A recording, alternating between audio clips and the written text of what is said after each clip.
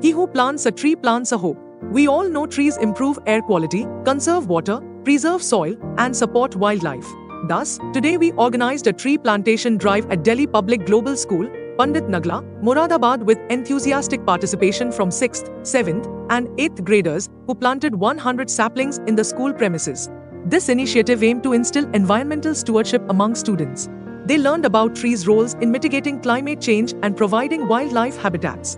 Such activities keep children connected to nature, fostering appreciation and responsibility for the environment. They discovered how trees help in mitigating climate change by absorbing carbon dioxide, releasing oxygen, and reducing the urban heat island effect.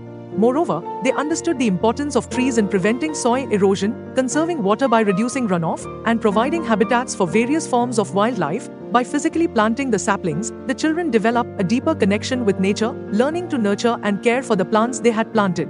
This act of planting and the subsequent responsibility of caring for the trees fostered a sense of accomplishment and commitment towards a sustainable future. We extend our heartfelt gratitude to all who contributed, ensuring a greener, healthier planet.